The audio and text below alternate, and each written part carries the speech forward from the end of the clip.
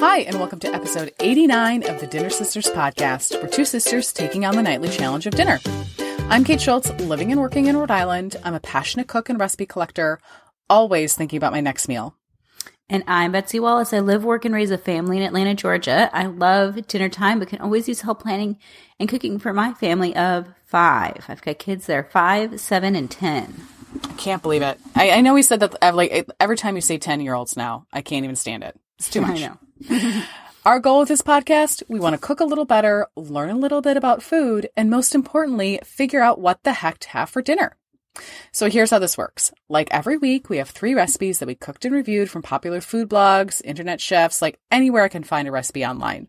We'll have all these recipes, tips, the smorgasbord, and a shopping list on our website, which is dinnersisters.com. You can also get sent all this sent directly to your inbox by subscribing to our newsletter if you're the type of person who'd like to preview before listening. This week's recipes were Simple Fall Slaw by Minimalist Baker, Slow Cooked Winter Squash with Sage and Thyme from Epicurious, and Twice Baked Sweet Potatoes with Maple and Walnuts from Savory Nothings. For those especially observant listeners, you may have noticed that the recipes aren't exactly dinner this episode.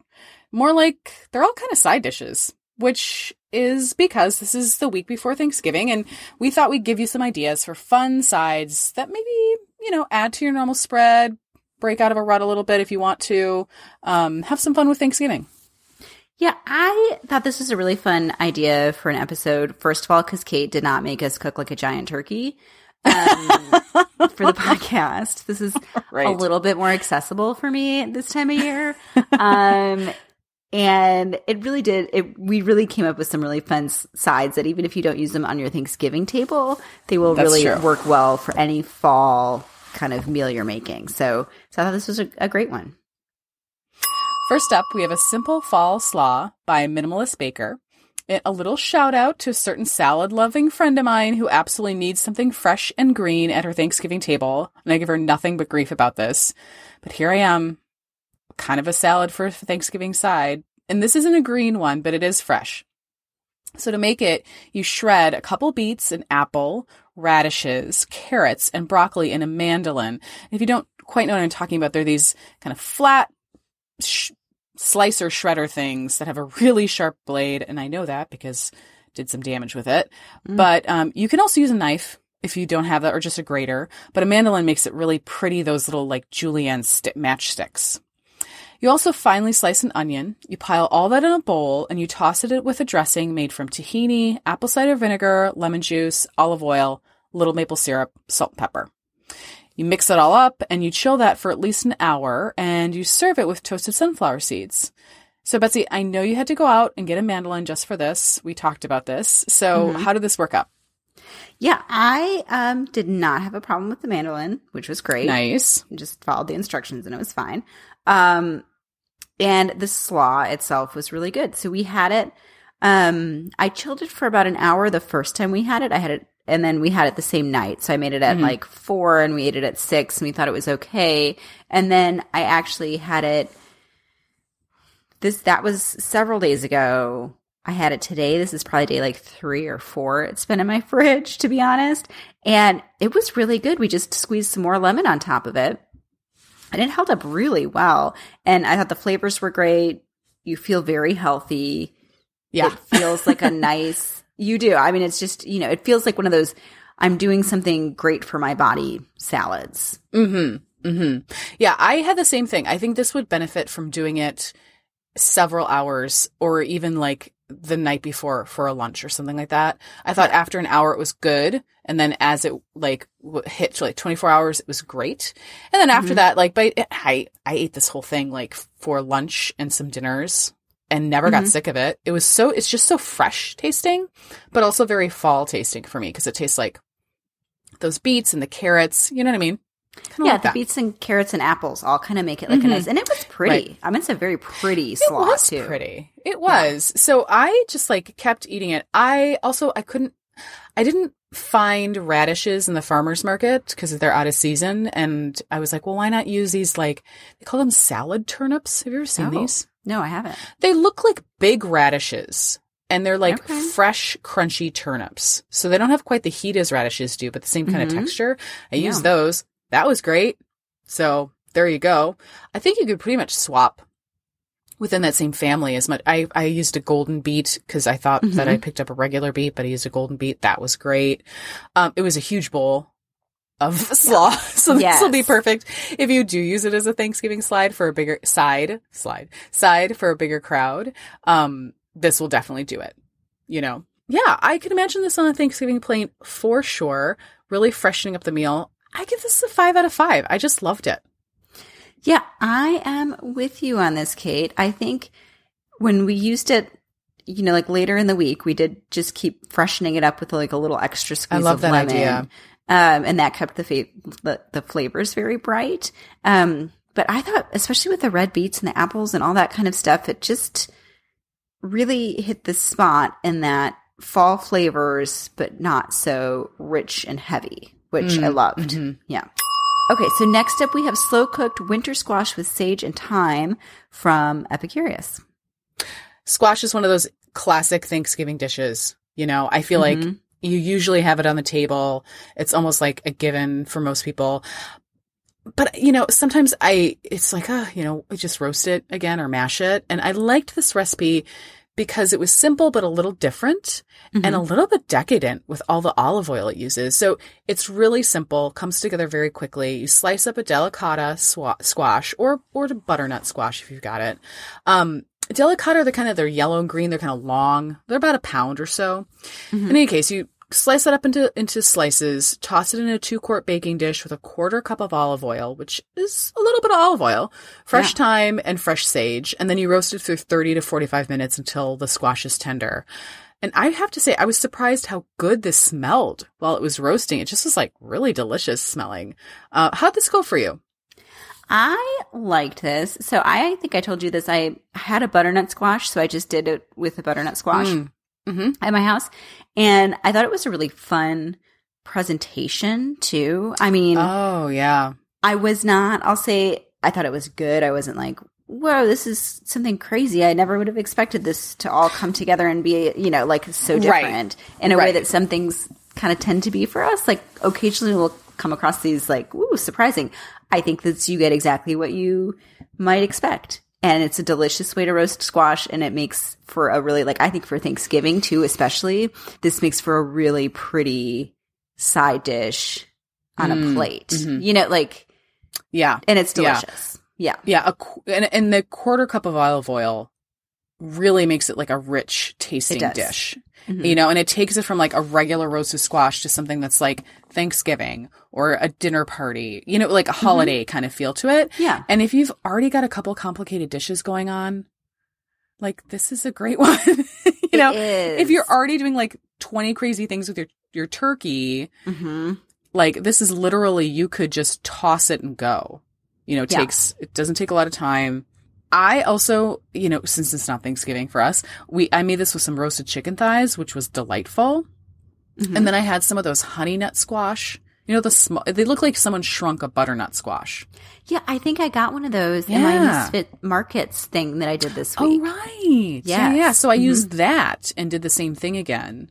I like scaled it down because I didn't have as much squash, and Mm-hmm. that was delightful because you can kind of like just shove it in the oven and walk away, and it just does its thing. Um, and then here's an extra special thing. So there's a place in Providence that makes these amazing like gourmet, too expensive sandwiches, but they're Mhm. delicious. Got their vegetarian sandwich, and it was delicata squash, a little bit of feta Oh, okay. and some other things going on in there. And so I had extra delicata squash. I didn't, I was like, eh, I wasn't really into it as a side anymore. And then I remember that sandwich. So I made a sandwich with it. I had some sharp cheddar cheese and some of my homemade bread, delicata squash. It was really good. Oh, I bet that's a great delicious. Thanksgiving leftover yeah. like hint there. Exactly. Mhm. So, you know, this is the kind of recipe I also, Betsy, would recommend to like a cooking newbie who's going to like bring Mhm. something for a side. Yes. Yes. you know. So I agree, though it wasn't super surprising, but it was really solid. This is a four to five because honestly, it's a lot of oil, olive oil for me to make like every day, um, but it's still really good. What was your rating? Yeah, I'm I am also with you on that. It's definitely a four out of five because it was um I think if you're like uh exactly what you said, if you're a pro cook but you just want some of these dishes to be easy but look Mhm. great and taste great, this is definitely for you. And if you're a newbie, you can pull this off. And those slices of squash, again, I just saw the presentation on this. And that richer pretty. thing with the oil, it was just pretty. It was just a really Mhm. pretty thing, and it was like a walk away. Like put it, in certainly the oven, was. walk away. Yeah, which was great. Mhm. Unlike our next recipe, Kate, which is the last recipe of the episode: twice baked sweet potatoes with maple and walnuts from Savory Nothings. Tell us how you do this. Okay. Well, no, you can't walk away because that's a twice baked potato. I don't know what you want. All right. Yeah. So this recipe is a twist on like a regular roasted sweet potato or like a twice baked potato. It's kind of the mash up the two, right? So Mhm. like any twice baked potato, you first you roast your sweet potato in the oven. And then when it's nice and soft, just whole, like you just poke some, you know, holes in it, shove it in the oven, and away you go. When it's nice and soft, you split it in half, scoop out the insides, and you put that in a bowl and you just mix it up with some Greek yogurt, a bit of pumpkin pie spice, and maple syrup. You pile that mashed up back into the sweet potato shells, right? And then you top it with walnuts and brown sugar and you bake it again at 400 until they're like nice and toasty. The nuts have toasted, the brown sugar's caramelized. These were really pretty, I thought. I was like, oh, it's kind of fun. How did everyone like them, Betsy? So I end up did up kind of because it's sort of a flexible looking recipe because you're Mm. just kind of taking everything out and mixing the yogurt in and that type of Yeah. thing. I made um I think this recipe calls for four and I ended up making six because I oh, thought nice. you know we're just gonna have them for dinner and this probably does not need to be super exact and it Yeah. definitely did not need to be super exact. Uh, but I thought I so I did six kind of smallish ones and a nine by thirteen Oh, and I cool. actually, yeah, and I actually um had just these sweet potatoes with that slaw as a Oh. meal one night. Um, wow. kind of like a nice vegetarian meal. And I'm telling you, like Mhm. people were not complaining that they weren't full because like a big, good sized sweet potato yeah, mixed with Greek yogurt topped with walnuts. I mean, that's, that's, like a super fair amount of, filling, like a little bit of protein, a little bit of Yeah. healthy fat. Yeah. And everyone and and the, liked and the topping makes the topping makes it super good, like a little Yeah. candied topping, but it wasn't too too too sweet. You know, It wasn't. And we, you, I left out, you can put some butter in the topping too. And I ended up just like Mm. doing the walnuts with a little bit of brown sugar Yeah. and kind of left that out to make it because it was a weeknight. I mean, you know. Um, Yeah, right. this is but, not I mean, that could Thanksgiving make it- side. You're like, yeah. okay, we can back it off a little bit. Yes, but I think it would make it extra delicious. Um, I was surprised how much you could take the, taste the Greek yogurt tang come through in these, Me too. Mm-hmm. but I kind of liked it. I Mhm. mean, I thought that was nice. And so, yeah, it was just fun because everyone got a little sweet potato on their um, plate with a little, you know, big side of slaw? slaw and I mean, that was like fiber-tastic meal. it was a fantastic meal. Sure was. yeah, it was good. Keeps you full. Keeps you Yeah. full and going. Yeah, I you know, this recipe for me, four to five, it's a little bit of work. You know, it's Mhm. a little bit like extra, but I think it'd be super fun, even, you know, for Thanksgiving, a little twist on the sweet potato. Um, and, but also something that would be fun to make for a weeknight or maybe a little having some people over for dinner. Yeah, I did make my potatoes ahead of time. So oh, good call. I baked them first, and then like at five thirty or whenever, I um split them open. And I was even thinking maybe I should have baked them, scooped everything out, made the filling, and then you could really just Oh gosh, yeah. or reassemble. Because I was about thinking like at the supermarket, you buy twice baked potatoes. You can buy them in the like Sure. Pre-made things. So this could be like a meal prep thing. If you were going to do this on the Sunday and have them later in the week, you could. Or if you're going somewhere for Thanksgiving, right? Mhm. You could just make them and then do that last step at someone's house, like use the broiler or something like that. I think that might be really delicious. What was your What was your rating? Okay, so my rating's a four out of five on this, like a high four out of five on Mm, this. I thought mhm. they were fun. And also kind of like we've talked about before, smaller Thanksgivings. This is kind of like a fun individual portion thing. Cause sometimes you don't Yes. just want like a nine by 13 of potato, sweet potato casserole. I know. I have done that before for prior Thanksgiving. It never goes well. Never goes well. And you could scale down too, right? I think you could just like scale down everything and just make two sweet potatoes. Mm-hmm. Yeah, this know? was a fun one. hmm Mhm. I liked it. Okay, wrapping it up, Betsy. Let's talk about our winners. For Mhm. me, this episode, the winner was the fall slaw. I mean, it was just really delicious. It just hit the spot for me for some reason. Although I'm disappointed because I might have to take back all my teasing about a Thanksgiving salad. Yeah. It was really, and it looked just Thanksgiving-y. I mean, I just can't. Mhm. Yeah. Um, mine's going to be the sweet potatoes because Oh, nice. even though they were like a little bit of extra work, I was surprised that those felt so filling to my family. And I was like, well, geez, this could be a, um, like it's fun for this time of year, but Yeah. You know, Why not? this- Break it out in January. Yeah, exactly. So it's fun. And all yeah, all those foods too in there are very like going to be on in the markets through winter time. Do you know Yeah, what I mean? exactly. You can make those slaws all year round. Like Kate, all sh- winter long. Yeah, exactly. We should mention that slaw um, on her recipe notes. She says it's gluten free and vegan. Even better. So if you have those dietary needs at Thanksgiving, that's always good to have a recipe in your back pocket. So I thought that was very sure. useful. Yeah. So if you're going to go to a Thanksgiving where you need to bring a side, you can always check out our show notes and the grocery list for all of these recipes at dinnersisters.com. And we've got all the other tips that we talked about, including scaling up, scaling down, maybe making these potatoes ahead. And if you'd like to chat more with us, you can always ask to join our Dinner Sisters Facebook group. We are at Dinner Sisters Podcast on Facebook. Just type that in, look for us, and we'll invite you to join the party.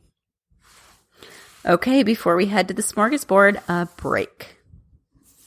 So today on the smorgasbord, we have two fun things. Some listener tips about cooking a giant turkey and an international favorite. It was. It was my favorite thread in the Facebook group the whole week. And an international cookie exchange that I'm really excited about, Kate. So Yeah. I'm gonna start Take us with- off with a giant turkey tips, Betsy. Yes. Which you know what, Kate? I I will tell you, this was so hilarious. So Melissa in the Facebook group said she was thinking about Thanksgiving. She went and dug up our episode from last year in which we reviewed a turkey breast side. Yes. So like a smaller portion, you know, turkey for two kind of thing was our was our theme. And she wrote this hilarious post about how she has a small family and but loves buying giant turkeys and just going to town. And it was so funny because so many people chimed in and said, There are a lot I of the giant turkey thing. lovers. Yeah. I was like, okay, fair enough. I mean, our own mother is a giant turkey lover. She loves She herself a good turkey sale. And So- she does. So she and sh hmm. our dad will buy like just a giant turkey and keep it in the freezer and have Just that break it out in February. In February, just the two of them, and then and then they'll do the whole, you know, bag it up into different things, and you know, it's great. Way more So- organized than we are. Yeah. So some of the the tips we got from um, what you can do with this giant turkey if you go out and get one on sale is making bone broth in the instant pot, making some pot pies for your freezing freezer, shredding, Mm. like cooking and shredding this, maybe buying four or five of these giant Oh cheap turkeys What? and putting them into your f- chest freezer. And then you can kind of do like this is what our parents would do and then you like take one out at throughout the year um you know what people are saying they love turkey soup they think turkey Okay. broth is superior to chicken broth kate you know what i did today i was Well, I know mom. I know mom is visiting. So what did you Yeah. do? our parents are visiting so i went to kroger with our dad and i definitely bought two 15 pound turkeys Oh my god!